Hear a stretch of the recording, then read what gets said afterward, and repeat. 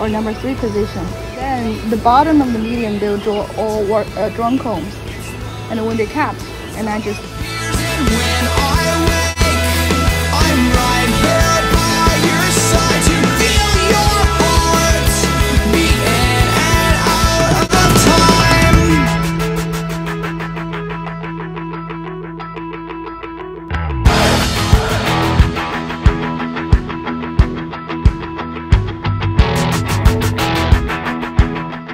this way.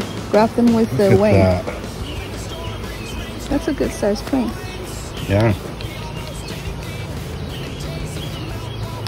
Okay, I'm marking the queen with my peach marker because I forgot the blue one.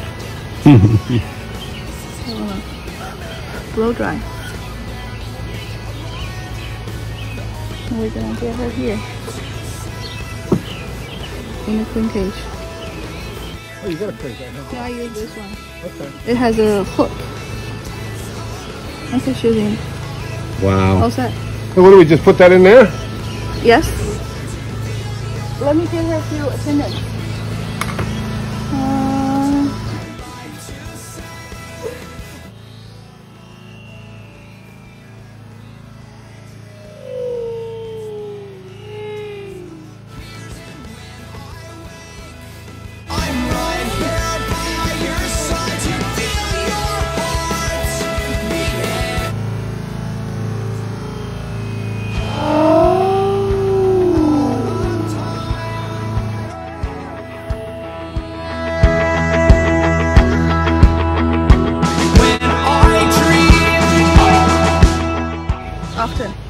And bees don't like to chew out those old wax.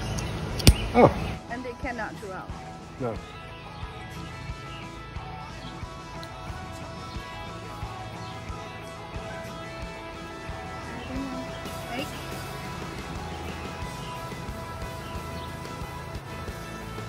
I could barely pick up the frings. You think I could pick up a bee? oh, yeah. That's what I do. That's what you do. One more. Five dozen. Just grab them by the name.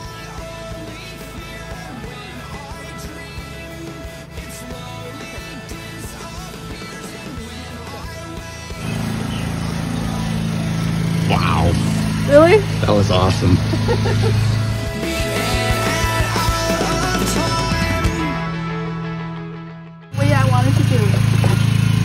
Um, let me kind of explain it how this works.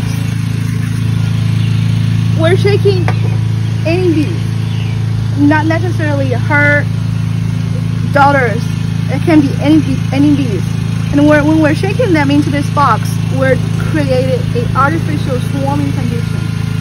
We close this whole thing in a dark, cool place overnight and they smell the queen pheromone. That's the only thing they have. They have no wax, they have no comb, no no anything. They automatically get into the swarm mode.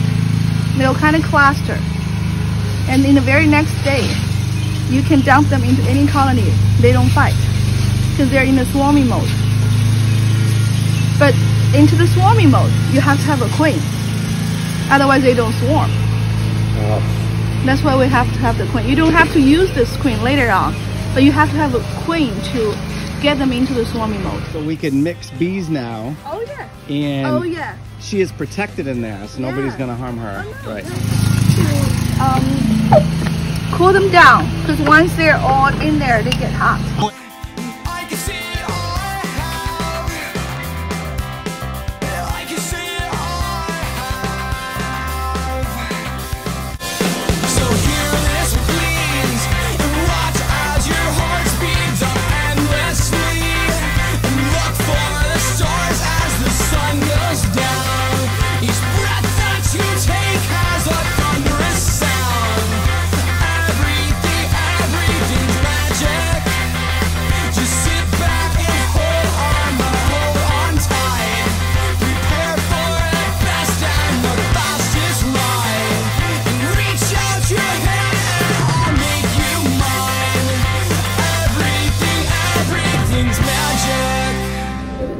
2020 queen. That's a new queen. Apparently there's one. There she is. Don't move your finger. You can move your arm, not finger. Okay. Can you switch the other side?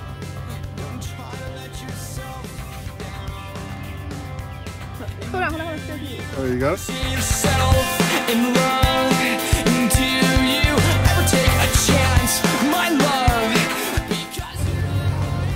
It's a tiger one. Yeah.